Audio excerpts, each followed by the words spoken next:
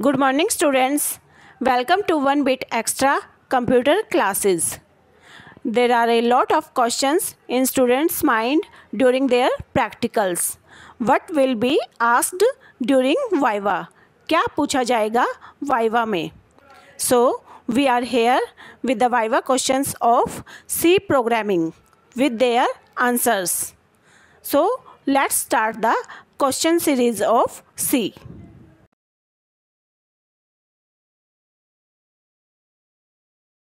The first question is who developed C language answer is Dennis Ritchie Dennis Ritchie ने C language को develop किया था।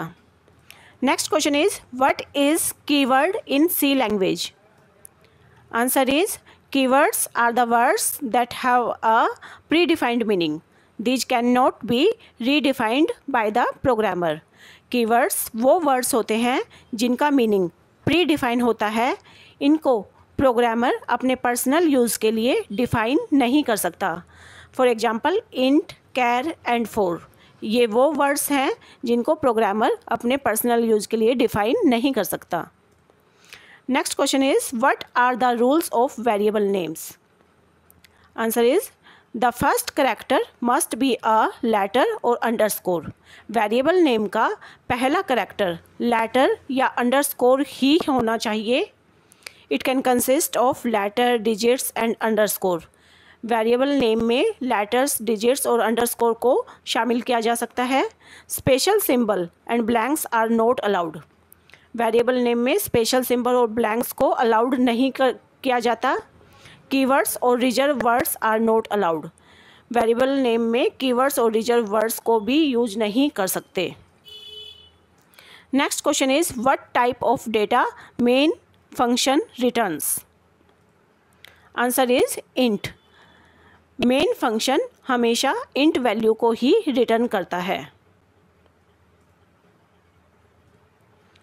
Next question is name three unary operators answer is plus plus minus minus size of plus plus is increment operator it simply increase the value by one minus minus is decrement operator.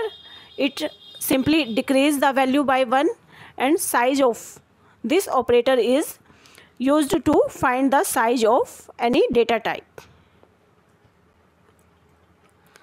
Next question is what is value of 15 modulus 33 answer is 15 this is modulus operator. Here it finds remainder when we divide 15 by 33 here remainder is 15 next question is name two entry controlled loops answer is while and for entry control loops वो होते हैं जहाँ entry पर ही condition check की जाती है If condition is true, then body will execute, otherwise not. Next question is, what is identifier? Answer is, it is the name given to any program element like variable, comma, function, etc.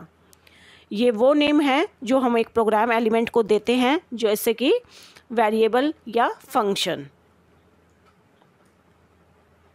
next question is how many keywords are there in C language answer is thirty two C language में thirty two keywords होते हैं। Next question is is auto a keyword in C yes auto एक C में एक keyword होता है।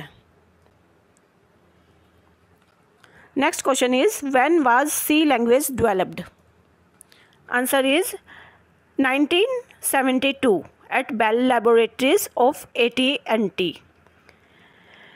1972 में AT&T की बेल लेबोरेटरी के अंदर सी लैंग्वेज को डेवलप किया गया था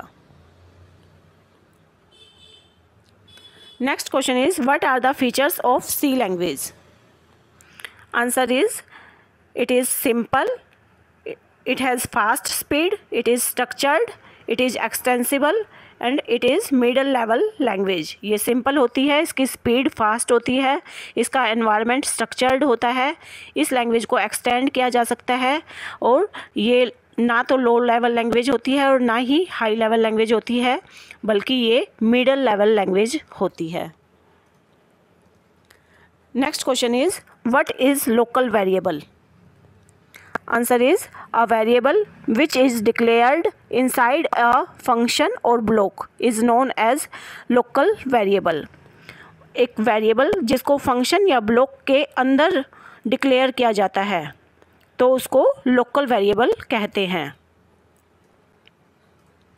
Next question is what is global variable answer is a variable which is declared outside a function or block is known as global variable ऐसा वेरिएबल जिसको function या block के बाहर डिक्लेयर किया जाता है, उसको ग्लोबल वेरिएबल कहते हैं।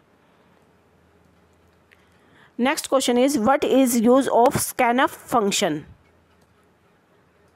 answer is this function is used for input this is used to input integers float character and string scanf function को इनपुट के लिए यूज़ किया जाता है। ये इंटीजर्स को, फ्लोट को, करैक्टर को और स्ट्रिंग्स को इनपुट कराने के लिए यूज़ किया जाता है। Next question is, what is use of printf function?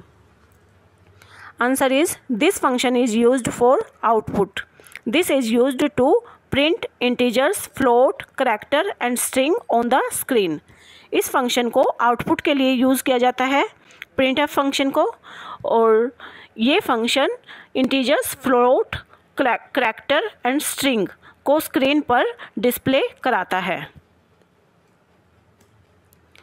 Next question is what are the types of array answer is it is of two types one dimensional array and multi dimensional array one dimensional array में elements को या तो row में दिखाया जा सकता है या कॉलम में। मल्टी डायमेंशनल एरे में एलिमेंट्स को रो और कॉलम दोनों में दिखाया जा सकता है। Next question is what is pointer answer is it is the variable which stores the address of a variable ये वो वेरिएबल होता है जो किसी वेरिएबल के एड्रेस को स्टोर करता है। Next question is what is structure answer is it is user defined data type is it is use to store multiple types of data ये यूज़र डिफाइंड डेटा टाइप होता है और multiple types के data को store करने के लिए use किया जाता है स्ट्रक्चर को। Structure use the unique storage area for its each member structure अपने हर एक मेंबर के लिए यूनिक स्टोरेज एरिया को यूज़ करता है। Next question is what is union answer is it is user defined data type it is use to store multiple types of data union भी user defined data type होता है structure की तरह, और ये भी मल्टीपल टाइप्स के data को स्टोर करने के लिए यूज़ किया जाता है। But difference is, union share the same storage area within the computer memory for its each member. ये अपने हर मेंबर के लिए सेम स्टोरेज एरिया को कंप्यूटर मेमोरी की सेम स्टोरेज एरिया को ये यूज़ करता है। इसीलिए unique union consumes the less memory as compare to structure Next question is write relational operator in C. Answer is less than, greater than, less than equal to, greater than equal to, equal to and not equal to. These are the relational operator. These are used to find the comparisons. Next question is which operator has lower um, precedence in C? Answer is comma. इस operator को सबसे lowest precedence मिलती है C में। Next question is name the ternary operator answer is conditional this operator is ternary operator conditional operator is ternary operator next question is how many ternary operator are there in C C में कितने ternary operators होते हैं? Answer is one C में सिर्फ़ एक ही ternary operator होता है that is conditional operator next question is what is typedef answer is it is use to create a another name to existing type for example typedef int num ये use किया जाता है एक existing data type को कोई दूसरा name देने के लिए. For example typedef int num यहाँ हम टाइप डेफ से इंट को एक दूसरा नेम दे रहे हैं डेट इज़ नम अब इंट की क्वालिटीज़ नम के पास आ गई हैं। अब हम इंट की जगह नम को यूज़ कर सकते हैं। Next question is what is an array answer is it is collection of similar type of data having common name ये सिमिलर टाइप के डेटा का कलेक्शन होता है और जिसका नेम कॉमन होता है और एक सेम नेम होता है। Next question is how many ternary operators are there in C answer is one that is conditional operator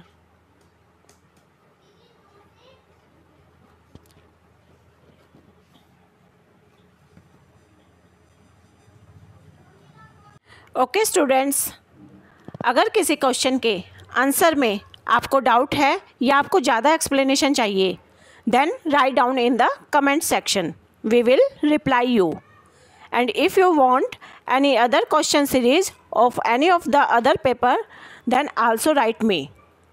And students, share this video to all within time so that every student can take benefit from it.